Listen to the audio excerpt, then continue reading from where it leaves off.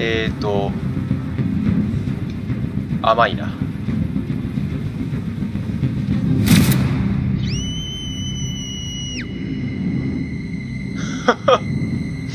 やばい。もうなんか即断って感じだったな。